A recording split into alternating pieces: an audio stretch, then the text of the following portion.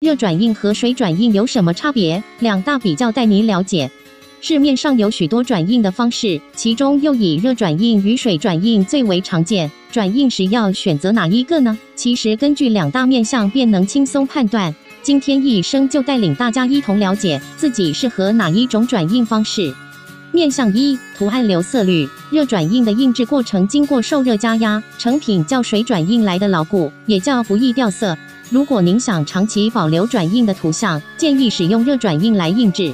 面向二，转印素材表面是否不规则？若转印素材是平面，如衣服、袋子、手机壳，热转印较为适合；若转印素材是不受限的形状或曲面，如汽车钣金、包膜，灵活的水转印较适合。但因水转印的印制程序较为复杂，且需要高专业部的技巧与熟忍度，因此多以工厂、大企业才会采用水转印来印制。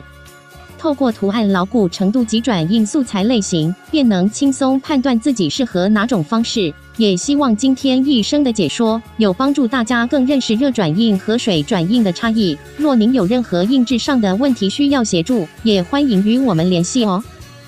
一生成立超过二十年，拥有丰富的专业经验，提供大型工业用机台及小型创业的个人用设备。